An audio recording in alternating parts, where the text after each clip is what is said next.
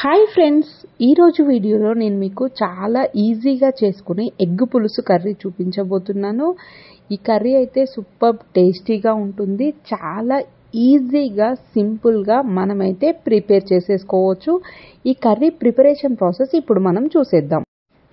ఈ curry prepare చేసుకోవడం కోసం ఒక బిగ్ లెమన్ సైజ్ చింతపండును తీసుకొని టూ టైమ్స్ బాగా వాష్ చేసుకొని వాటర్ వేసి ఒక ఫిఫ్టీన్ మినిట్స్ నానబెట్టుకొని పక్కన పెట్టుకోండి. ఎగ్ పులుసు చేస్తున్నాం కాబట్టి ఎగ్స్ ముందే ఉడికించుకొని పక్కన పెట్టుకొని ఈ విధంగా ఎగ్స్ అన్నిటికీ కూడా ఘాట్లు పెట్టుకోండి. ఇక్కడ నేను చాక్తో పెడుతున్నాను. ఘాట్లు అనేవి కొంచెం లోపలి వరకు ఉండేలాగా పెట్టుకోండి. అలా అయితే పులుసు ఎగ్ లోపలి వరకు వెళ్ళి చాలా టేస్టీగా ఉంటుంది. ఇప్పుడు ఒక కడాయి తీసుకొని అది వేడెక్కిన తర్వాత అందులో త్రీ టేబుల్ స్పూన్స్ ఆయిల్ వేసుకోండి. ఆయిల్ కొంచెం వేడెక్కగానే అందులో మనం ఉడికించి పక్కన పెట్టుకున్న ఎగ్స్ని కూడా వేసేసుకోండి. ఆయిల్ బాగా వేడెక్కకూడదండి. ఆయిల్ బాగా వేడే వేడెక్కినట్లయితే ఎగ్స్ మనం అందులో వేయగానే చిట్లడానికి ఛాన్స్ ఉంది. కాబట్టి ఆయిల్ లైట్గా వేడెక్కగానే అందులో మనం ఘాట్లు పెట్టి పక్కన పెట్టుకున్న ఎగ్స్ని వేసేసుకోండి. ఆ తర్వాత ఇందులో వన్ టేబుల్ స్పూన్ కారం అలాగే వన్ టేబుల్ స్పూన్ సాల్ట్ కూడా వేసుకొని ఎగ్స్ని లో ఫ్లేమ్లో పెట్టి ఫ్రై చేసుకోండి.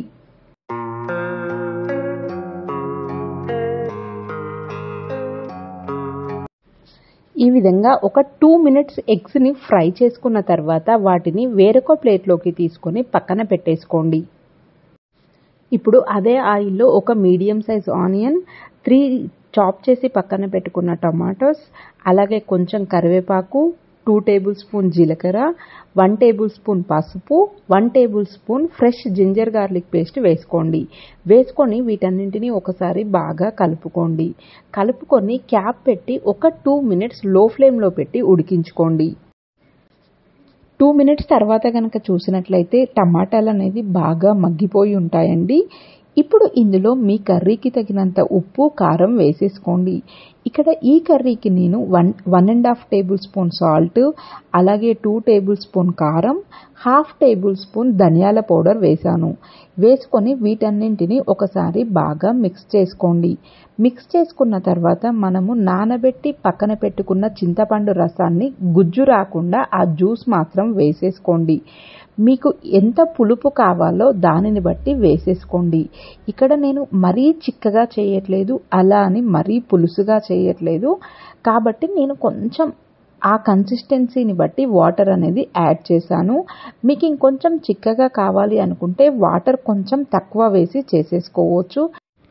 చింతపండు రసం వేసిన తర్వాత అందులో మనం ఫ్రై చేసి పక్కన పెట్టుకున్న ఎగ్స్ వేసి ఒక ఫైవ్ మినిట్స్ ఉడికించుకోవాలి. ఆ తర్వాత ఫైనల్గా కొంచెం కొత్తిమీరతో గార్నిష్ చేసుకున్నట్లయితే ఎమ్మి ఎమ్మి టేస్టీ టేస్టీగా ఉండే ఎగ్ పులుసు అనేది రెడీ అయిపోయినట్టే ఫ్రెండ్స్ ఇది తినడానికి సేమ్ ఫిష్ పులుసు లాగా ఉంటుంది. ఫిష్ పులుసు కంటే కూడా టేస్టీగా ఉంటుంది. ఒక్కసారి మీరు కూడా ఈ విధంగా ట్రై చేయండి. మరీ ఎక్కువగా చిక్కగా కాకుండా మరీ వాటర్ వాటర్గా కాకుండా ఈ విధంగా కన్సిస్టెన్సీ వచ్చేలాగా చేసి చూడండి. కర్రీ అయితే సూపర్ టేస్టీగా ఉంటుంది. చాలా ఈజీగా క్విక్గా మనమైతే చేసేసుకోవచ్చు. చాలా హెల్తీ కర్రీ కూడా. మీరు కూడా ఒకసారి డెఫినెట్గా ఈ విధంగా ట్రై చేసి చూడండి. అలాగే ఈ వీడియో కనుక మీకు నచ్చినట్లయితే ప్లీజ్ లైక్ చేయండి. అలాగే సబ్స్క్రైబ్ చేయండి. Thank you thank you for watching